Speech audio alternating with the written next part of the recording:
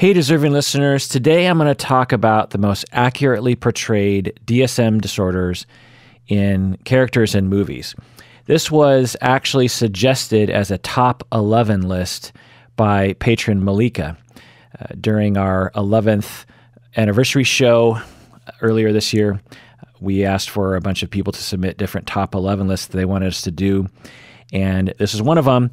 And there were so many good ones that some of them got left on the cutting room floor. And so I just thought I would do some of those now. These movies are in no particular order, and I actually couldn't come up with 11. I could only come up with, I don't know, eight or nine or something, because there's so few movies and TV shows that depict mental illness. So there's two things I'm looking for. One, do they portray it accurately? And two, do they give us enough detail that actually tells us that the character actually has that disorder. Because, like in Iron Man 3, for example, we have Tony Stark who exhibits some PTSD symptoms. But the movie, probably for a good reason, doesn't really go into detail about his symptoms because that's, you know, they're, it's trying to. Uh, Iron Man 3 is a superhero movie. It's supposed to be PG 13 and light and um, fun, but, you know, with a twist of psychological issues that the character has. Um, so, you know, it makes sense that they wouldn't go into detail. So I'm looking for is it accurate and is there enough information so that we can be like, yep, this person actually does have this disorder.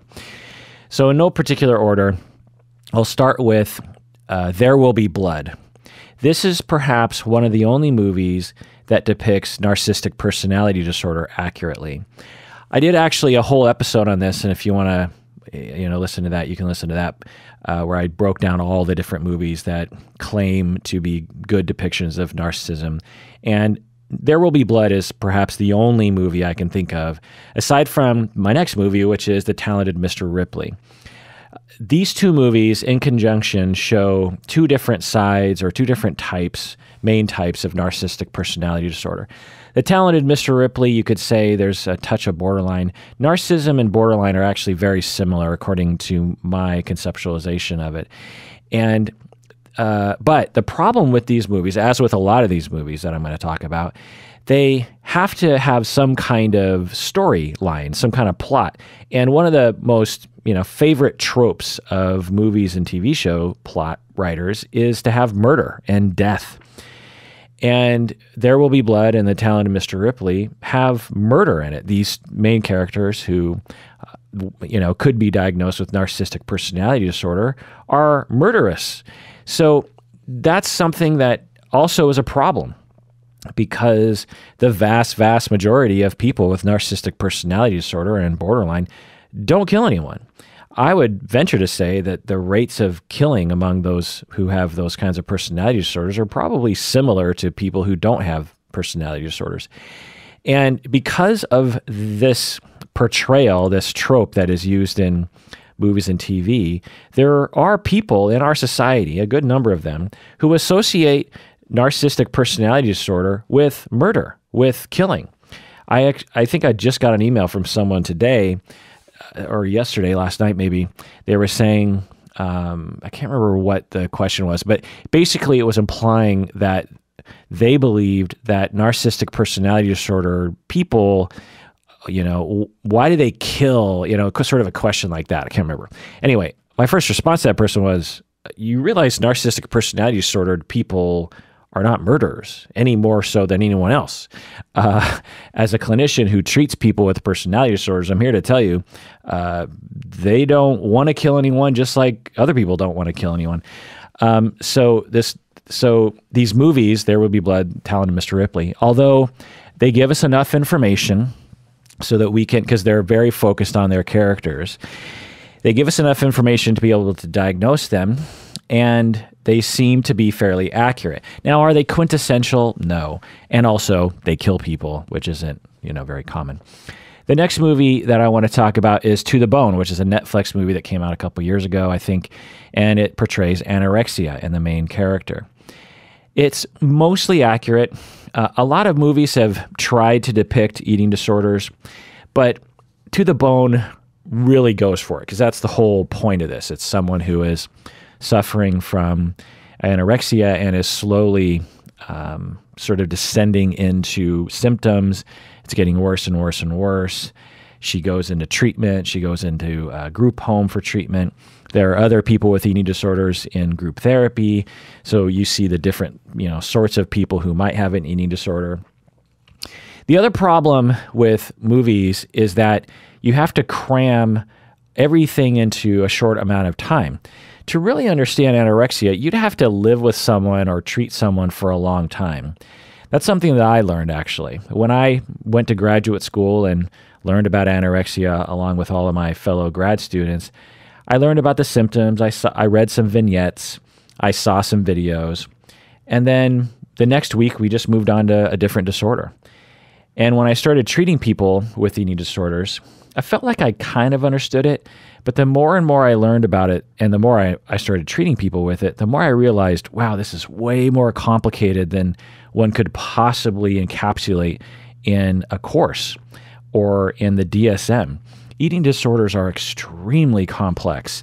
There are certain DSM diagnoses that are pretty straightforward panic disorder, generalized anxiety, major depression. These are pretty easy to understand. Anorexia and certainly personality disorders are very complicated. But to the bone, I think they did a pretty good job. And I have experts in eating disorders, colleagues of mine who also appreciated it. There, there are problems, um, of course, but like I said, you know, as far as things go, it's pretty good. And the this movie doesn't have things like, and then her anorexia caused her to murder a bunch of people. Like, there's nothing like that. It it just it's just a story about someone as they become more and more symptomatic and how they are trying to find themselves in that process. The next movie is Flight with um, Denzel Washington playing someone with substance use disorder or alcoholism, as is generally called. In this movie, Flight, which I found to be just a gem of a movie, not only is it interesting because it has that whole flight scene of that's really famous where he turns the plane upside down, but the rest of the movie is pretty much about him and his alcoholism. And you really get a sense in this movie how powerless people are over their addictions. There's this point in the movie where you think like, okay, he he finally realized he's hit bottom so many different times. He's he's trying to be clean and sober. He realizes, you know, his trial is the next day. He realizes he needs to be sober and you know, he's doing all these different things to make sure he doesn't drink and and then he you know, this you're just seeing this. It's all nonverbal. It's all this. It's this scene that's shot in a hotel room. And just when you think, okay, he overcame the temptation, boom, he gives into it. And boom, he's drunk all night long. And boom, he ends up going to the trial intoxicated. And then boom, he starts talking about it. He's in the hearing and he's like, and by the way, I'm drunk right now. And it's this powerful, just you know, cringing. I mean, that's what it's like to live with an addiction is it's so hard to control. And this notion that, you know, if you just have willpower, you'll be able to overcome it. And it also portrays alcoholism in this really accurate way in that his life isn't completely going down the tubes. Most people who suffer, the vast majority of people who suffer from addictions, their lives are pretty much functional. I treated heroin addicts for a while and found that uh, there were some whose lives were a little bit on the rocks, but most of my clients in Seattle, heroin's kind of a problem in Seattle, and but Seattle also has this you know booming economy, all these different you know internety kind of things that I don't understand, and a lot of these young people have these jobs, yet they're using heroin or other opiates, opioids, and they have they're you know they're doing good. They're still talking to their parents. They they might have a spouse. They might have kids. Everything's functioning, and yet they're uh, they're powerless over their addictions.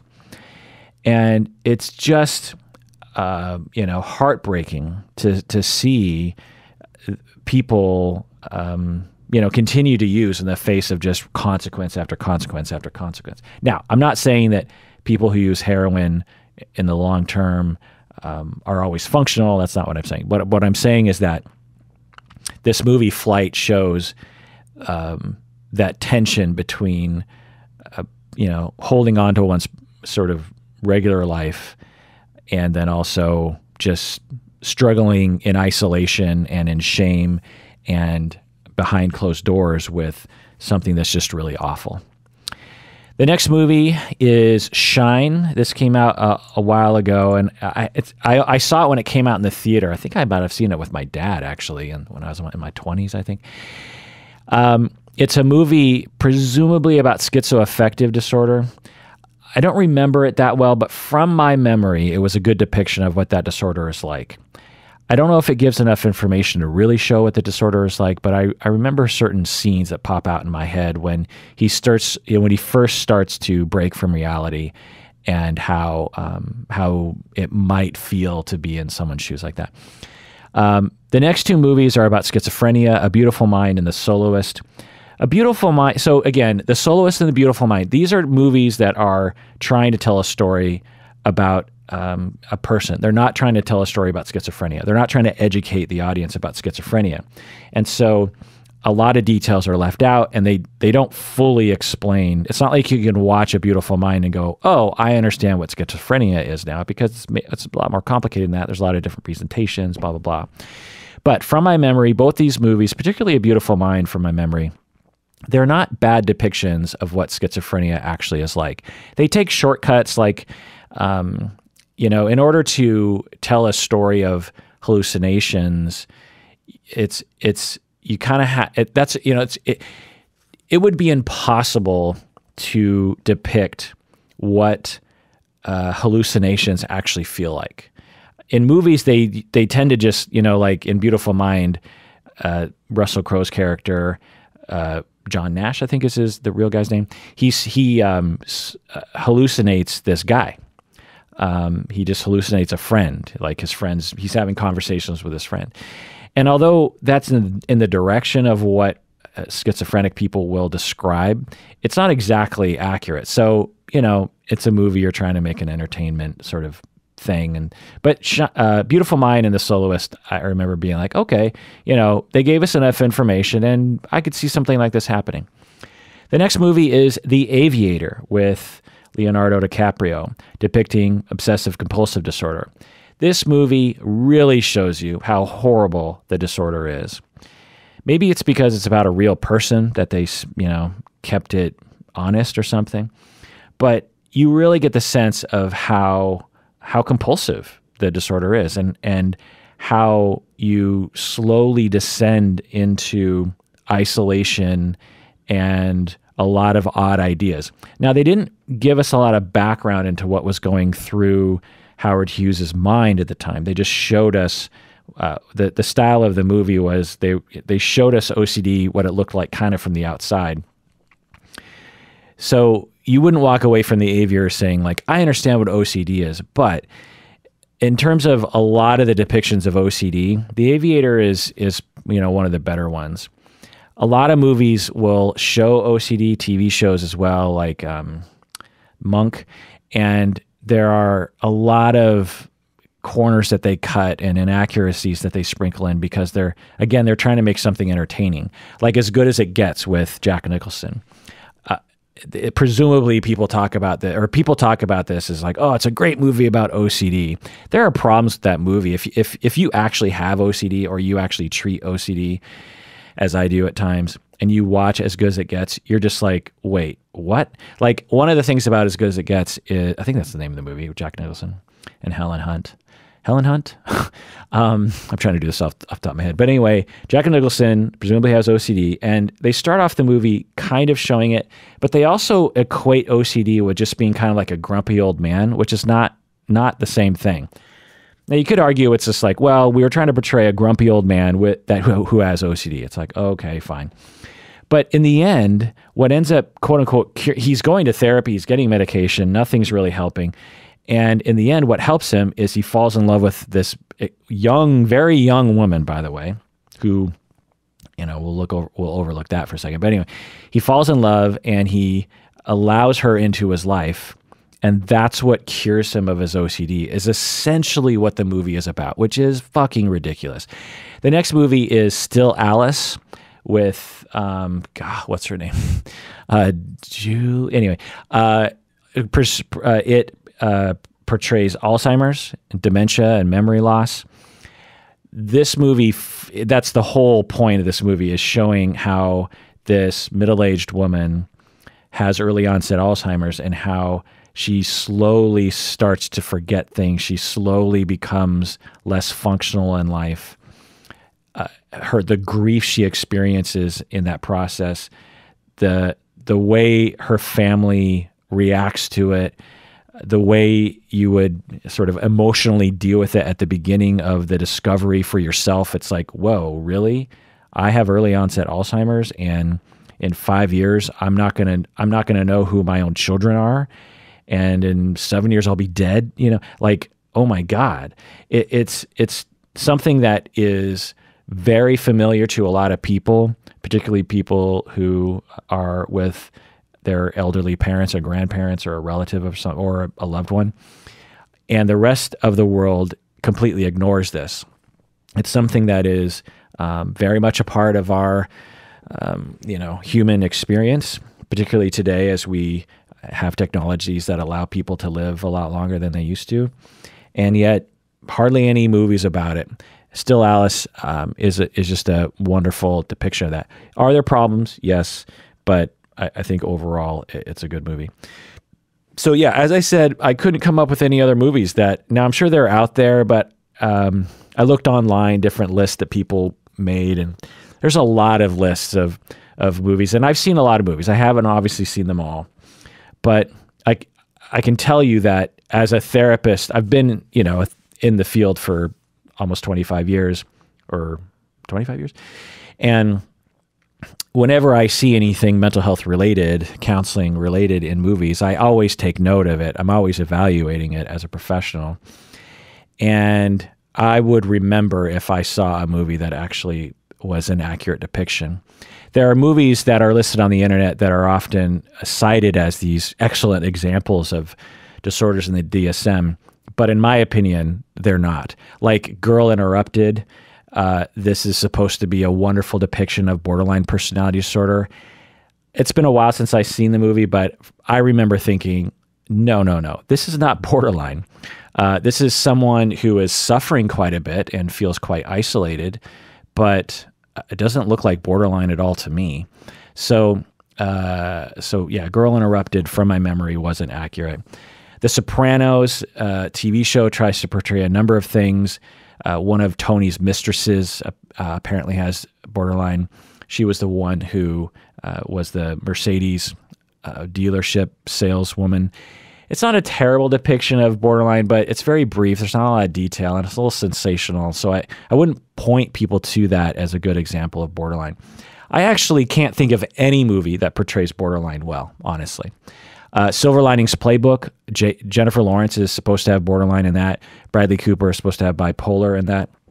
And although there's a scene with Bradley Cooper in the beginning of the movie where it it looks like a manic episode, and it it's you know it, you're like, oh, is that what mania looks like? And you're like, yeah, it can look like that. Again, Silver Linings Playbook is trying to be an entertaining movie. It's not trying to educate people about borderline and bipolar. And they don't really show us the full breadth of the symptoms, which again makes sense because it's it's not an educational movie; it's an entertainment movie.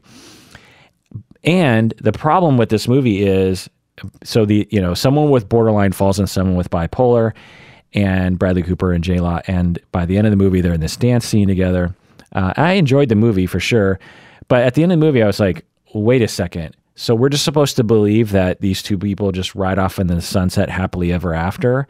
Uh, that's not how this usually plays out. If you if you have someone who legit has borderline and someone who legit has bipolar, there's going to be a lot of bumps in the road after that. And they just made it seem like if if someone with borderline and someone with bipolar, if they just really believe in love and they just try to do this dance together and you know and and they try to capture the goodness of life, then that'll just solve all their problems. Again, they're not explicitly saying that, but it, it just as a clinician watching it, I just thought, uh, well, that's not accurate. like, if that's all, I mean, believe me, as someone who treats people, I specialize in borderline. If it if if it was just that simple, you know, like, hey, go find a a dance partner, fall in love, and you know, really try to capture life and and do you know look on the bright side and done it. If that's all it took, like, come on. Um, there's a lot of movies online where they talk about like, oh, you know, if you really want to see what mental illness is like, you got to watch Psycho or American Psycho or Silence of the Lambs or Fatal Attraction. And although one could argue that these movies depict psychopathy or antisocial or sadism or something, it's like, okay, fine. But these, if we're going to look to those movies as like examples of how to teach the public or clinicians about mental illnesses, then my God, you know, uh, we're just furthering that connection, that false connection, that false association between mental illness and murdering people. So, and it's actually kind of a trope of of screenwriters is to make your villain have a mental illness, which isn't helping. So, it yeah, there's a, again, there's a lot of other movies that people identify, and if you want to let me know about any particular movie that you think depicts um, men mental illnesses or disorders in the DSM, then let me know. My guess is is that if it's a popular one, so if there's any popular movies out there where you're like, well, surely Kirk has seen this movie or he's heard of it, why isn't he talking about that? It's probably because one, it wasn't accurate. Two, it didn't give enough information to really portray the disorder well enough so that I, as a watcher, would go, okay, yeah, I, I could see how that person has that disorder. Or three, it does it doesn't stigmatize the disorder in a really inaccurate way. So those are the those are the three criteria I'm looking for, I guess. Um, so if, in, think about that before you uh, identify a movie. I mean, you might have a movie like, oh, this movie I think really depicts this really well, or this movie was shown to me in in my graduate school courses. Is a good example of this. Again, think: is it really accurate? Two, does it really give you enough information? And three, does it stigmatize the disorder in an unnecessary way? Um, because these other movies, There Will Be Blood, Talented Mr. Ripley, they stigmatize. So, well, but I think they're an example of what it's like to live either next to someone with narcissism or be in the shoes of someone with narcissism. Uh, to the Bone, Flight, Shine, A Beautiful Mind, The Soloist, The Aviator, and Still Alice these movies, in my book, don't really stigmatize disorders. They they give enough information, and and it it's mostly accurate. But the thing to remember is that uh, if you're a layperson, watching these movies will not teach you what these disorders are. It'd be like watching a movie about cancer and you know how to diagnose it and how to treat it or something you wouldn't claim after watching a movie about cancer and cancer treatment that you could identify cancer and treat it, right? Well, it's the same when it comes to these complicated disorders, such as anorexia or particularly uh, personality disorder, schizoaffective, schizophrenia for the most part, even OCD. These are things that you have to be a clinician who specializes in that.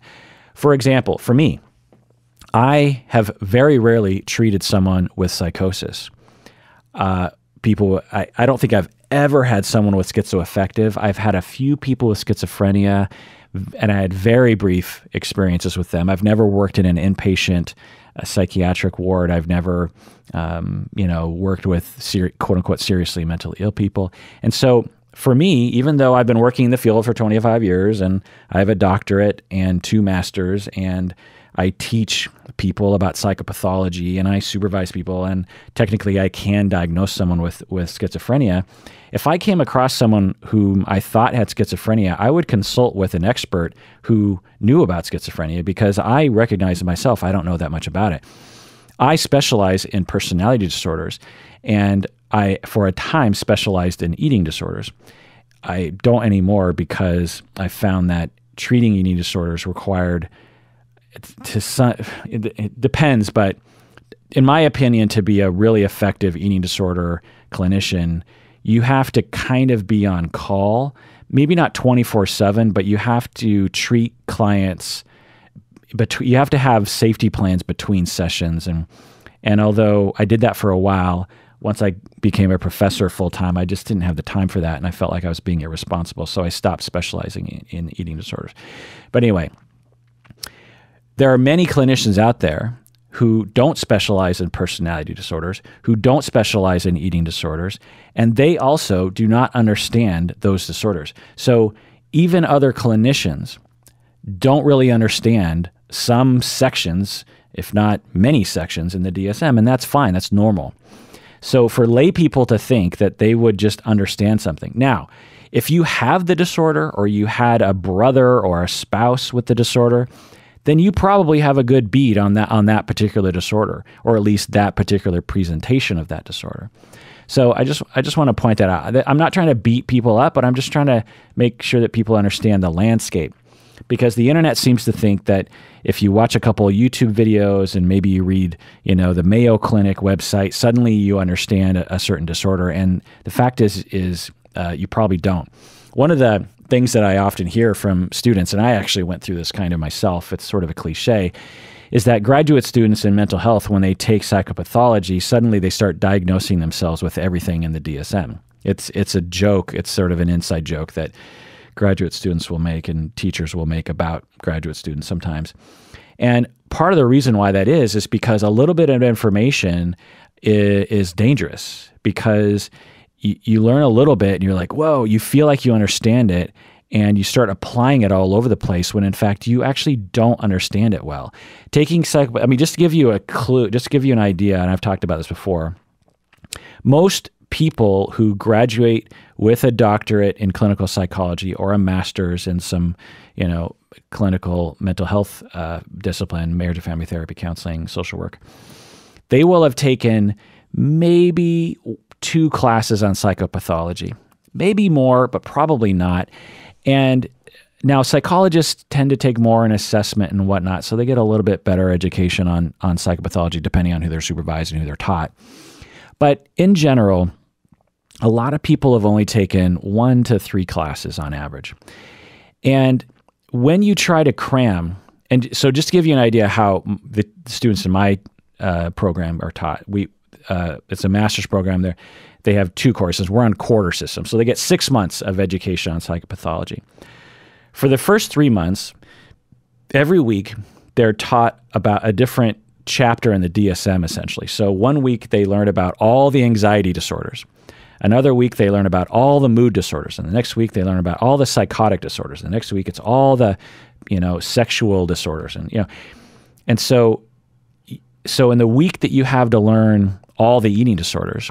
You're you you probably spend three hours reading stuff about eating disorders, anorexia just being one of them, and then you you hear a lecture for a couple hours about eating disorders, and then you're done. And then the next three months, you spend time thinking about how to treat, how to write treatment plans for this, th those disorders, and that's that sort of assumes you already understand the disorder and doesn't really it furthers it a little bit because it's you know it's like okay now that you can assess someone how do you how do you exactly treat it and how do you write up the treatment plan? That's it.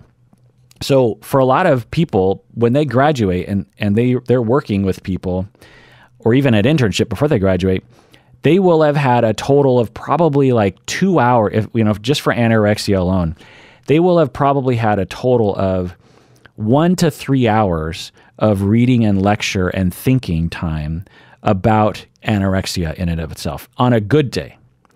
And that's because anorexia is actually focused on. There are whole sections of the DSM that are usually ignored in these classes. And, and that is not enough time. And the person's a clinician. So the key is is that you have to have supervisors that help you.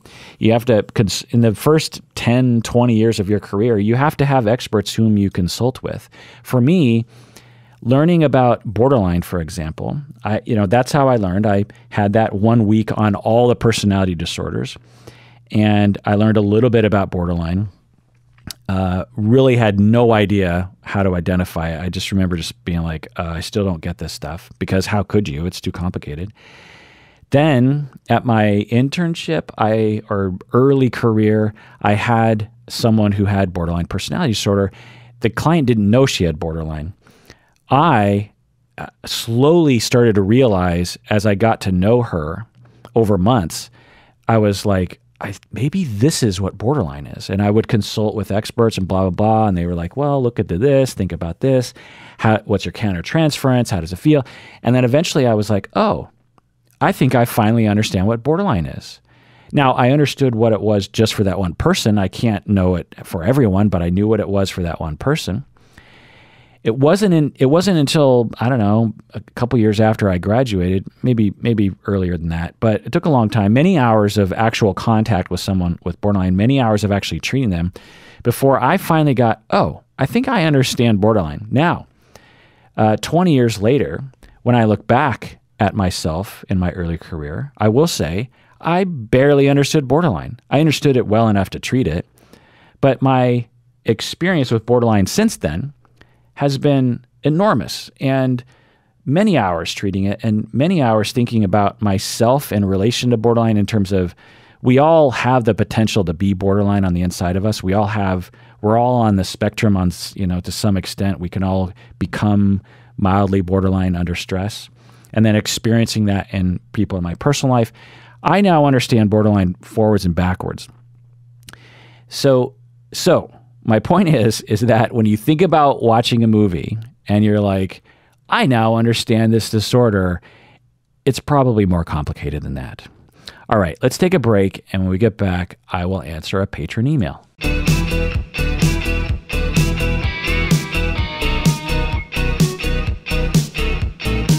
All right, we're back from the break. If you haven't become a patron, do so now. Go to patreon.com. All of our best episodes are only available for patrons. Sorry about that, non patrons, but there's an easy, easy solution to that. Just become a patron. Also, I just want to remind everyone that when you become a patron, a certain amount of your money goes towards various philanthropic efforts that we do on the podcast. We've given away over $10,000 to various different charities that we support. Uh, we've given, I don't know, four to $5,000 in scholarships directly to students who are making the world a better place. Uh, LGBTQ um, charities, uh, animal charities, homelessness charities. And so know that when you give to the podcast, you're giving to the community as well. And not to put a sort of grandiose point on it, but I would like to think that this podcast also puts forth a lot of ideas that I think need to be presented on the internet. I'm not the only one, of course, but there's a lot of ideas on the internet that are underrepresented. Uh, just one, you know, uh, harkening back to what I was talking about earlier, harkening um, of borderline, the idea or narcissism or any personality disorder for that matter. It is normal for people on the internet to believe that people with borderline are raving lunatics and people with narcissism are murderous psychopaths. And these are destructive notions because if we're going to help all the people with personality disorders, we have to think about the way that we uh, communicate to the public. And if people are walking around thinking these false notions, then it's going to be hard for them to get help for it, you know? Um, like along those lines, sometimes people ask me, so if you have a client with borderline, do you tell them that they have borderline? And what I say is, well, maybe. But what I tell them is, do not Google it because everything on the internet is false. So let me tell you what borderline really is. When you're relationally traumatized, you're traumatized. And when that trauma is triggered, you're going to have tremendous anxiety. And that is going to result in you being the most scared person on the planet. And when you get really, when anyone gets really scared, then they, they get desperate. And they're going to do a lot of different things to try to alleviate that fear. Uh, they might isolate. They might want to kill themselves. They might drink a lot. They might have, um, you know, they might reach out sexually to other people to, to hold on to other people and their attachments. They might get angry. They might even stalk their, um, you know, their, they, they might be dating someone. They get someone dumps them, and they're very, very hurt. All that trauma is triggered, and they they might stalk their their former partner, and that's not because they're evil. It's because they're desperate. They're terrified, and they don't have anywhere to land. And so so that's how I you know I describe it in more lengthier terms than that, obviously to clients, but that's not the way it's described on the internet. the way it's described on the internet is they're they're manipulative, they're into themselves, they have no empathy, and it's just like my God, like.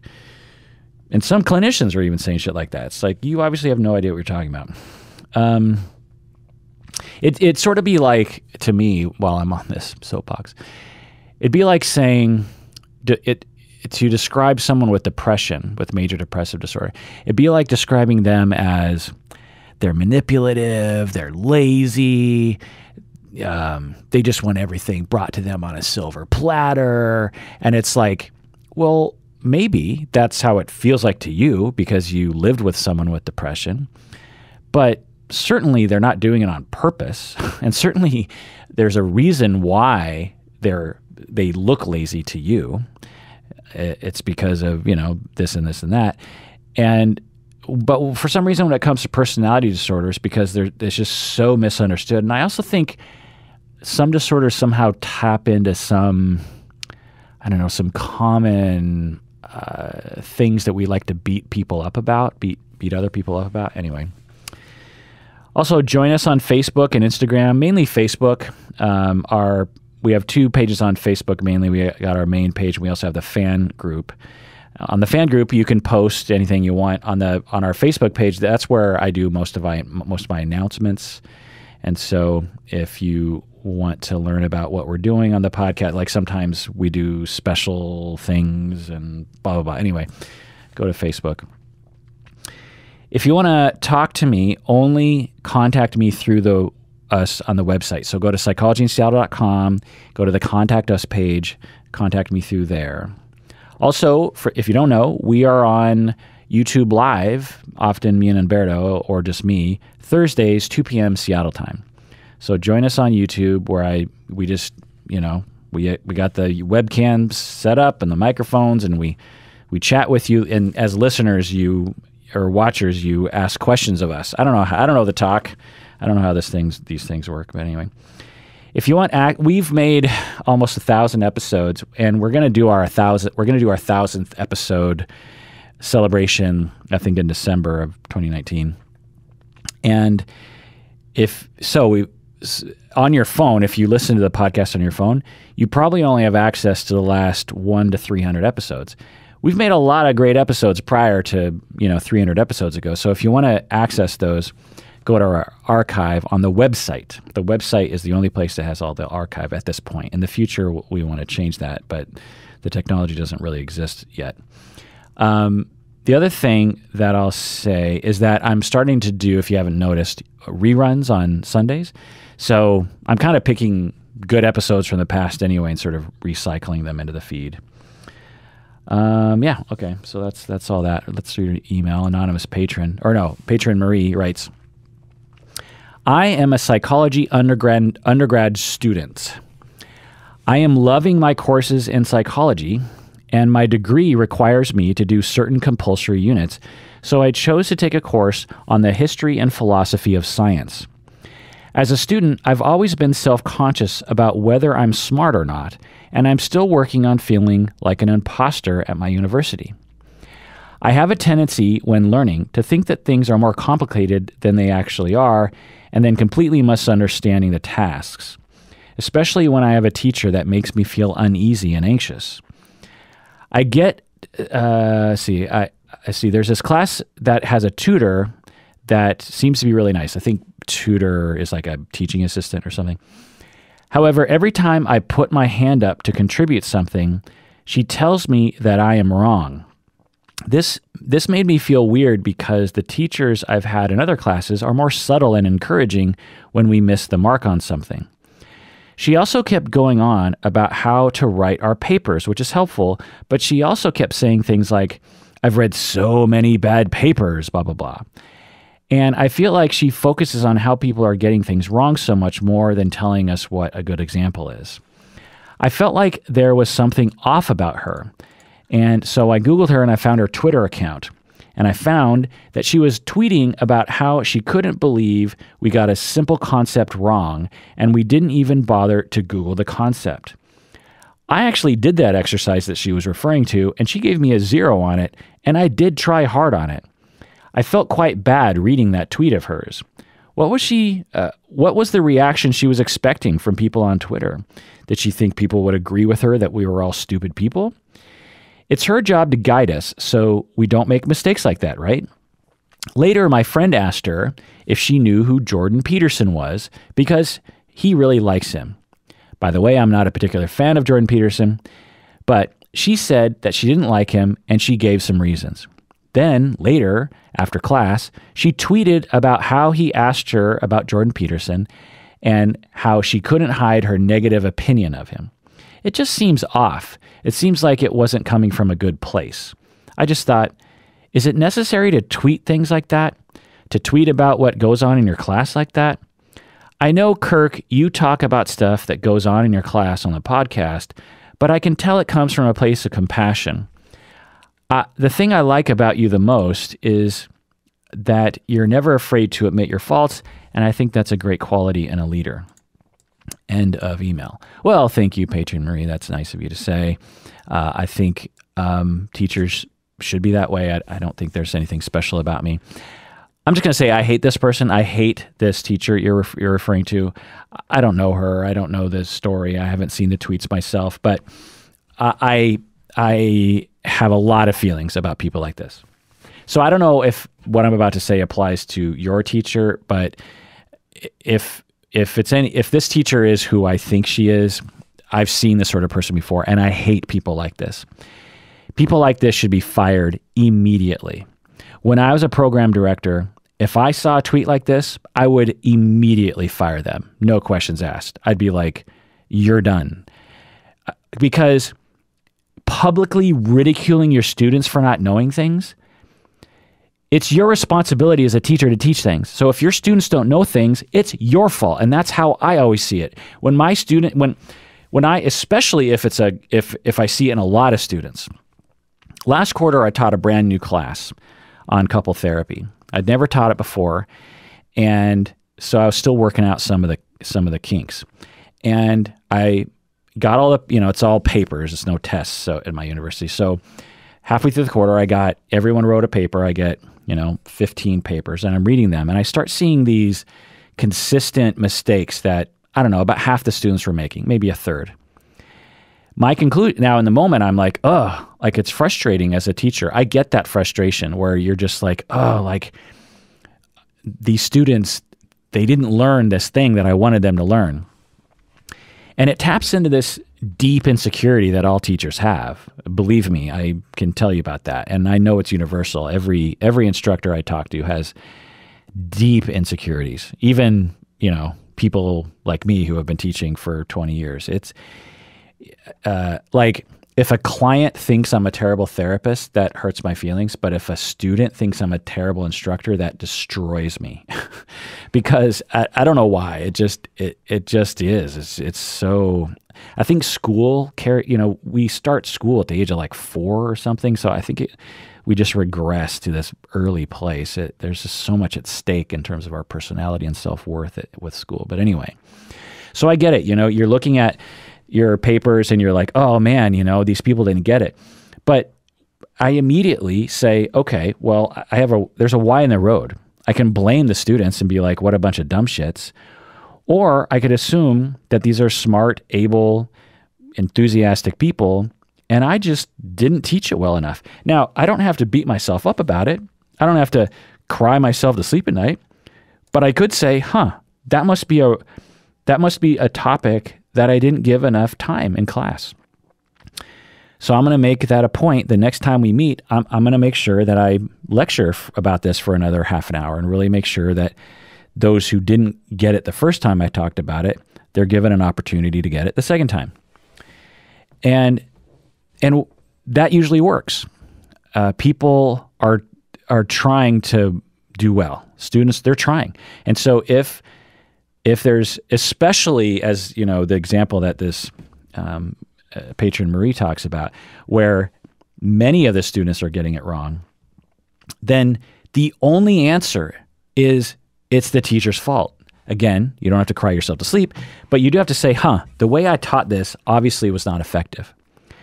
So, so that's just important. Now, if you're teaching a, a bunch of 13 year olds who hate being in school, then it's not so much on your head.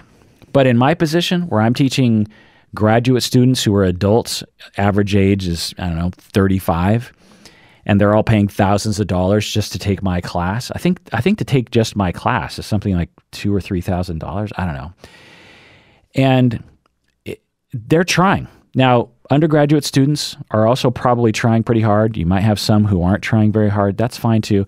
But I also blame instructors for that too. Good instructors can motivate even unmotivated people to learn. You put like in an undergraduate class, you get half the students are enthusiastic and the other half aren't, a good instructor can motivate many of those unmotivated students. It's a matter of making the material compelling. It's a matter of having enthusiasm. It's a matter of having compassion. It's a matter of being creative. It's a matter of constantly innovating your teaching style. I've been teaching this one class called Family of Origin for 20 years, 20 plus years. The first time I taught it was in 97, yes. So it's 22 years. Every time I teach this class, I'm changing it. I've been teaching, I, don't know how many times I've taught the class. I've taught it, you know, dozens of times. And I'm still changing it. And years ago, I said to myself, why am I continuing to change this class when students love the class as it is? You know, the first or probably the third time I taught the class, students were like, this is the best class I ever took, or, you know, whatever nice things people say to their instructors on their, you know, anonymous evaluations. Um, and I was like, huh, okay, I've nailed it. I don't, I, I've, I've figured out the curriculum. I figured out my approach. Don't change it or else you might mess it up. Well, I'm constantly changing it because it's important to innovate. And once you kind of get in this rut, I think things go downhill. And so you so I'm all so I'm making work for myself because I just think it's important to stay fresh. I also kind of get bored with doing the same thing over and over and over again. Um, also, you know, things change over time. You, you know, different ideas come into our field. You got to incorporate that. Anyway, my point is, is that um, I hate this person that you're talking about. I hate people like this. I think they should be fired. If I saw a tweet like this and I was program director, I would fire someone like that, ridiculing your students. Um, you know, I hate it when people do this in private conversations. So there's two situations that I run into professionally where this happens. One is is among fellow professor, uh, professors. Will there'll be some people who will have this kind of attitude toward their students. I luckily don't work with a lot of instructors like this, but I have in the past. The other venue is I'll be in a room full of therapists and they'll start talking about their clients in a very negative way. And even in those situations where the, where the clients and the students can't hear what's happening, it bothers me there too.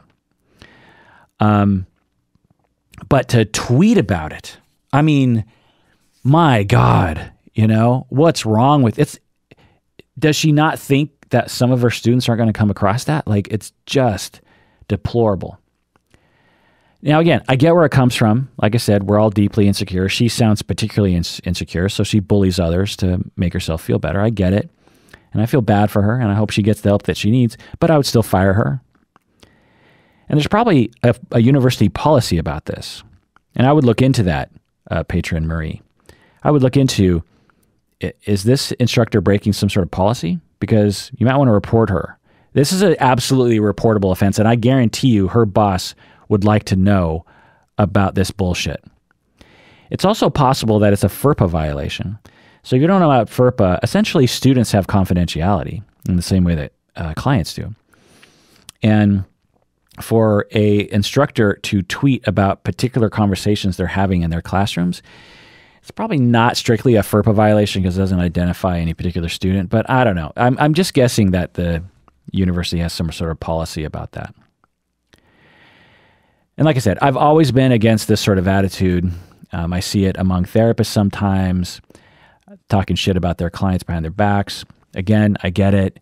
Being a teacher is stressful. Being a therapist is, is stressful. Some client, some clients even attack us. Some students attack us. It's rare, but it happens. But to me, if you can't take it to the point where you're tweeting about it, then you need to get out of the profession. You need to be removed or you need to quit. Go do some job where it it doesn't matter. You know, go work at Microsoft and maybe you have a bunch of customers, vendors or coworkers that you hate. You know, feel free to tweet about that. That's fine. Um, therapists have a moral obligation to find compassion and understanding. And so do professors. Professors and therapists, particularly, you know, in certain fields, you have a moral obligation to find compassion and, and understanding. And to not have that to the point where you're actually uh, on purpose tweeting to the entire world that you believe your students or your clients are stupid or something indicates that you do not have that value of returning to compassion and understanding. You know, I tell my students this, and I've talked about this in the podcast before, but I guess I should talk about it in this context is I tell students, look, before you decided to become a therapist, you could be a regular human. You decided to become a therapist, you can now not be a normal human. If you if you want to be a normal human, then then get out of the profession now. And what I mean by that is you need to have compassion for everyone.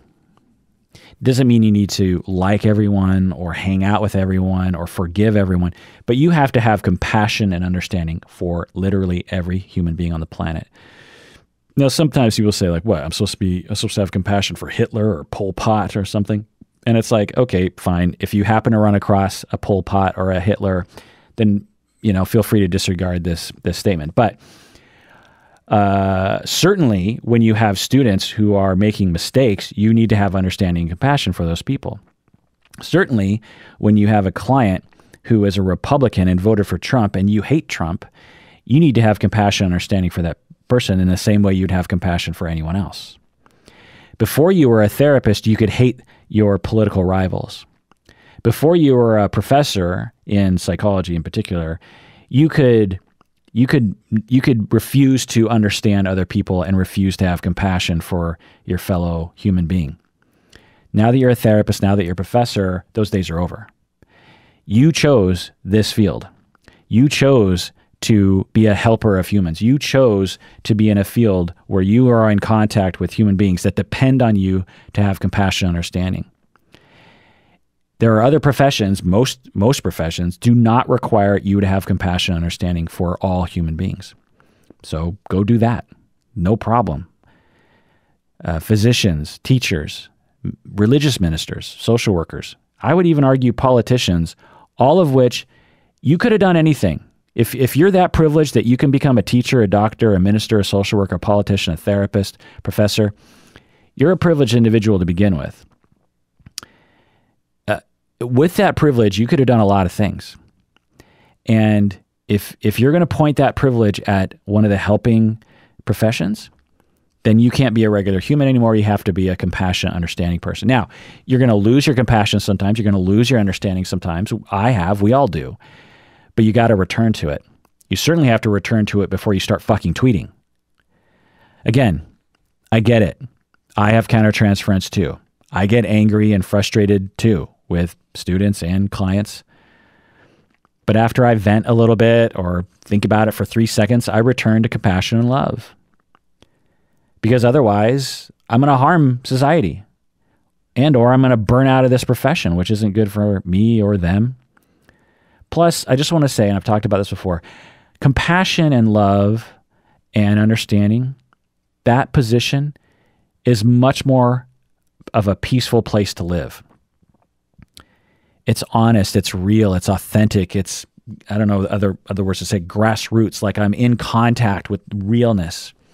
When I see Donald Trump's narcissism, which is motivated by his deep sadness that he never shows, but I can see it. I feel like I'm connecting with Donald Trump on a fundamental human level instead of this uh, uh other level. And again, if I wasn't a therapist, I could hate Donald Trump. I don't like his politics. I don't like the way he presents himself. I know some of you voted for Donald Trump, and you know it's fine. You probably hate, you know, many uh, Democratic people, politicians. I don't know. It's just the bias of the political landscape we're in, but or objective truth, depending on how you look at it. but anyway, when I see him, uh, I see someone who is hurting. Uh, let's just do Bill Clinton. He's far enough in the in the past. Bill Clinton uh, has problems, and in the Me Too movement, he would have been shredded. Uh, I would assume, and he uh, was very problematic and did very horrible things. But I can see the damage that he must have incurred growing up. And I can see his pain and I can see his, I can see a, it's like he's a lost little boy to me. Now, I separate that from how I vote. I'm not I'm not going to vote for people just because I have compassion for the human being. I'm going to vote based on how I feel like they're going to legislate. So so they're two different things. Just because I can have compassion for a politician doesn't mean I'm going to vote for them. So anyway, it's so it's so much a, it's so I'm, I feel so much more at peace when I can understand people. Forget about politicians. Just think about people in your own life. Just people that that person who cuts you off on the freeway and flips you off. That coworker who never says anything nice to you. That child of yours who never gives you appreciation. That parent of yours who never shows that they're pr- proud of you. That sibling of yours who criticizes everything you do. I can see that in the typical way, which is to say, oh, you know, they're an asshole, blah, blah, blah. But when I can see through the surf the the veil of hostility that they have and see the the pain behind that. I have compassion for them and I feel like I'm connecting to the universe in this fundamental way, like I'm grounded in a way. And it, you know, is so much more optimistic. when I see the love that everyone is giving each other all the time today, which is what I see, I feel good about the future. I feel good about today. I just feel a lot better. I have compassion for this instructor who tweeted, you know, denigrating things about you and your classmates. I understand her. I think I understand people like her. I think in general, um, but I'd still fire her. All right, well, that does it for that episode of Psychology in Seattle. Thanks for joining me out there. Please take care of yourself because you deserve it. You really, really, really do and take care of other people, please.